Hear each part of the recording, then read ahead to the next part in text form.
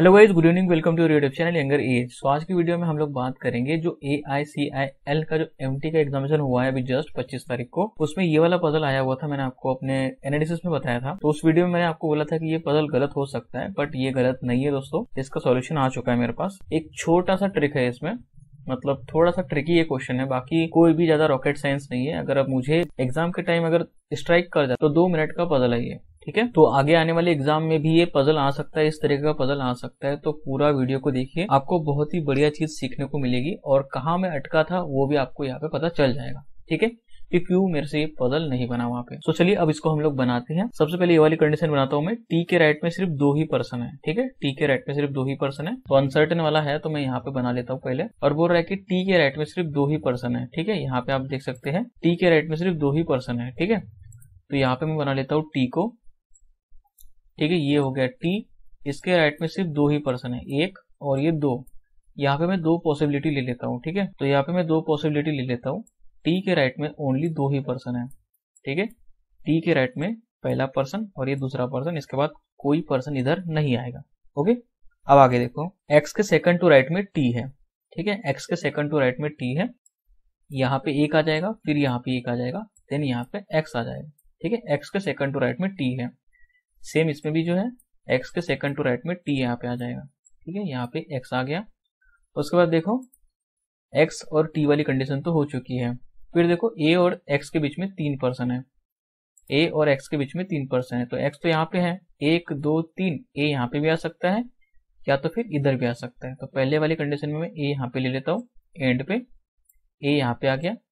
और इस वाली कंडीशन में जो है, एक, दो, तीन और यहाँ पे ए आ जाएगा। ठीक है, यहाँ पे ए आ गया। उसके बाद देखो अगली कंडीशन ये सारी कंडीशन हमारी हो गई है। उसके बाद देखो ये वाली कंडीशन ए और टी के बीच में जितने हैं, उतने ही एक्स और सी के बीच में है। ए और टी के बीच में जितने हैं ए और टी के बीच में जितने हैं, उतने ही एक्स और सी के बीच में है। पहली वाली कंडीशन में देखो ए और टी के बीच में एक ही पर्सन है। तो एक्स और सी के बीच में भी एक ही पर्सन होना चाहिए। तो एक्स अगर यहाँ पे है, एक छोड़ के तो यहाँ पे टी आने वाला है। मतलब एक्स मतलब एक्स के लेफ़्ट में ही होगा, एक छोड़ के सी तो एक छोड़ के यहाँ पे जो है सी आ जाएगा। ओके तो सी यहाँ पे आ गया।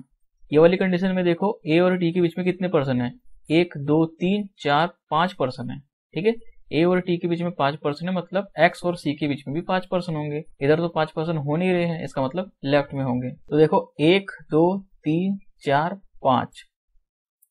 ठीक है? तो यहाँ पे आ जाएगा सी अब देखो, एक, दो, तीन, चार, पाँच पर्सन हो गए एक्स और सी के बीच में। क्योंकि ए और टी के बीच में भी पाँच परसेंट थे इसमें। ओके अब अगली कंडीशन देखो। ये कंडीशन हमारी हो गई, ये भी कंडीशन हमारी हो गई। ठीक है? उसके बाद देखो एफ़ और सी के बीच में ओनली वन पर्सन है। एफ़ और सी के बीच में ओनली वन पर्सन है।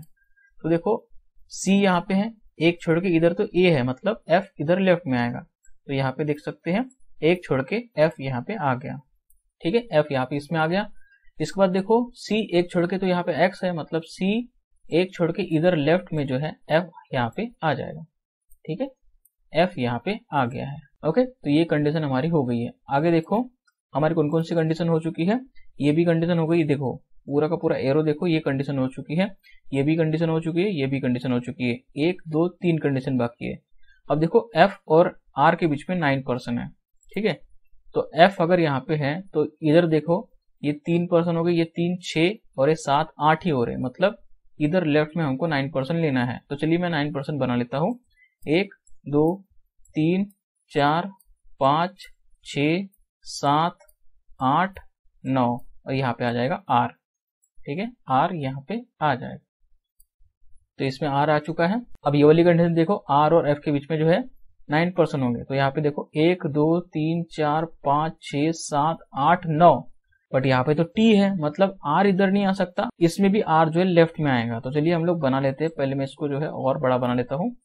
अब देखो हमको नौ लेना है ना? एक, दो, तीन, चार, पाँच छ सात, आठ, नौ। ठीक है, यहाँ पे आ जाएगा आर ओके आर आ गया। तीन तीन छ तीन, नौ परसेंट एफ़ और आर के बीच में आ गए। ओके अब कौन सी कंडीशन बची है? अब ये वाली और ये वाली कंडीशन बची है, बस दो। आर के फोर टू द लेफ़्ट में क्यू है, ठीक है? आर के फोर टू द लेफ़्ट में क्यू है। आर यहाँ पे है, एक, दो, तीन और ये चार। यहाँ पे फोर टू द लेफ़्ट में क्यू आ जाएगा, ठीक है? फोर टू द लेफ़्ट में क्यू आ जाएगा। इस वाली कंडीशन में भी देखो, एक, दो, तीन, चार, यहाँ पे क्यू आ जाएगा, ओके? अब एक ही कंडीशन हमारे पास बची है, ये वाली कंडीशन। आर के राइट में जितने पर्सन है, उतने ही ए के लेफ़्ट में पर्सन है। अब देखो ये वाली कंडीशन। देखो आर के राइट में कितने हैं? यहाँ पे गिन लो। पहली वाली कंडीशन में देखो, यहाँ तक हो गए तीन और ये तीन छ और तीन नौ। यहाँ तक नौ हो गए और ये दस, ग्यारह, बारह, तेरह, चौदह, पंद्रह, सोलह, सत्रह, अठारह है। मतलब आर के राइट में अठारह टोटल पर्सन है। तो इसका मतलब ए के लेफ़्ट में भी जो है, अठारह पर्सन होना चाहिए। ठीक है? तो देखो ये यहाँ पे है। एक, दो, तीन, चार, पाँच छ सात, आठ, नौ, दस, ग्यारह, बारह तेरह, चौदह, पंद्रह, सोलह, सत्रह, अठारह, उन्नीस, बीस, इक्कीस, बाईस हो रहे हैं। तो मतलब पहली वाली कंडीशन हमारी खत्म। ठीक है? क्योंकि आर के राइट में अठारह हो रहे थे तो ए के लेफ़्ट में भी अठारह होना चाहिए बट ए के लेफ़्ट में तो बाईस हो रहे हैं। मतलब ये कंडीशन हमारी खत्म। उसके बाद देखो आर के राइट में यहाँ पे कितने हैं? आर और एफ़ के बीच में तो नाइन थे। ठीक है? आर और एफ़ के बीच में तो यहाँ पे पूरे के पूरे जो है नाइन परसेंट है। तो एफ़ वाला ten eleven, twelve, thirteen, fourteen, fifteen, sixteen, seventeen, eighteen, nineteen, twenty twenty one, twenty two. मतलब आर के राइट में ट्वेंटी टू है, इसका मतलब ए के लेफ़्ट में भी ट्वेंटी टू होना चाहिए। तो देखो, एक, दो, तीन, चार, पाँच, छ, सात, आठ, नौ, दस, ग्यारह, बारह, तेरह, चौदह, पंद्रह, सोलह, सत्रह, अठारह, और यहाँ पे उन्नीस, बीस, इक्कीस, और ये बाईस। तो इस तरीके से बनाना था। हम क्या सोच रहे थे? जैसे क्वेश्चन में आता है ना, जैसा क्वेश्चन में पूछता है कि आर के राइट में जितने उतने ही ए के लेफ़्ट में which of the following is not true तो वो क्वेश्चन मेरे दिमाग में रहेगा कि हाँ ये मैं क्वेश्चन सॉल्व कर रहा हूँ। जो बाद में पजल सॉल्व करने के बाद में क्वेश्चन आते हैं, मुझे लगा कि वो है और उसी कंडीशन में मैं मिस हो रहा था। बट हमको ये भूलना नहीं है कि ये अनसर्टेन पजल है। मुझे लग रहा था कि ये सर्टेन पजल है, इसके लेफ़्ट में कुछ नहीं आ सकता। ठीक है? इस तरीके से मुझे लग रहा था, जिस कारण मैं जो है पजल को सॉल्व ही नहीं कर पाया। समझ रहे हो? ये जो है अनसर्टेन पजल और एग्ज़ाम प्रेशर में हम ये भूल गए कि ये अनसर्टेन मुझे लगा कि ये जो है सर्टेन पजल है। इसलिए ये क्वेश्चन बना ही नहीं मेरे से। अब देखो टोटल कितने पर्सन हो रहे हैं यहाँ पे? ये देखो, एक, दो, तीन, चार, पाँच, छह, सात, आठ, नौ, दस, ग्यारह, बारह, तेरह, चौदह, पंद्रह, सोलह, सत्रह, अठारह, उन्नीस, बीस, इक्कीस, बाईस, तेईस, चौबीस, पच्चीस, छब्बीस, सत्ताईस, अट्ठाईस, उन्तीस, तीस, इकतीस। तो टोटल जो है थर्टी वन पर्सन हो रहे हैं। जिनका भी आंसर थर्टी वन आया था, वो सबके सब सही है, उन्होंने सही क्वेश्चन बनाया था। उस टाइम जो है, ये दिमाग में चला नहीं। अनसर्टेन पजल था। मैं उसको सर्टेन समझ रहा था कि इतने ही आएँगे क्यू के लेफ़्ट में कोई पर्सन आ नहीं सकता। ये मैं समझ रहा था, ठीक है? जो कि एग्ज़ाम प्रेशर के कारण स्ट्राइक नहीं किया। तो इस तरीके के क्वेश्चन जो है, आने वाले एग्ज़ाम में आ सकते इसलिए इस तरीके के क्वेश्चन की प्रैक्टिस डेफिनेटली करना, ठीक है? मैंने बोला था ना, थोड़ा सा ट्रिकी था। और दो मिनट का ये पजल था, अगर आप अच्छे से बनाते तो। दो मिनट में बन गया होगा ये पजल तो 35 आउट ऑफ़ 35 किए जा सकते थे। लेवल काफ़ी इजी था बट वही कुछ पजल जो है लेंदी थे और इनके क्वेश्चन भी थोड़े लेंदी थे ठीक है? तो आई होप आपको ये सारी चीज़ें समझ में आई होगी ये पजल समझ में आया होगा। अब आपका डाउट क्लियर हुआ होगा जिन लोगों ने तेईस को आ, मान के सॉल्व किया है उनका गलत हुआ है ठीक है? उनका गलत हुआ है। जिन लोगों ने थर्टी वन आंसर लाया है उनका सही हुआ है ठीक है? तो सेम एग्जैक्ट यही पजल आया हुआ था मैंने तीन चार बार सॉल्व किया था तो मुझे सारी कंडीशन याद थी। एग्जैक्ट यही पजल आया था ठीक है? इसमें कोई भी कंडीशन जो है मिस नहीं किया मैंने, सारी की सारी कंडीशन यही थी। तो अगर आपने अभी तक हमारा टेलीग्राम ग्रुप ज्वाइन नहीं किया, इसको ज़रूर से ज्वाइन करिए, इसमें सारे वीडियोस के लिंक शेयर करता हूँ। लिंक डिस्क्रिप्शन बॉक्स में आपको मिल जाएगा।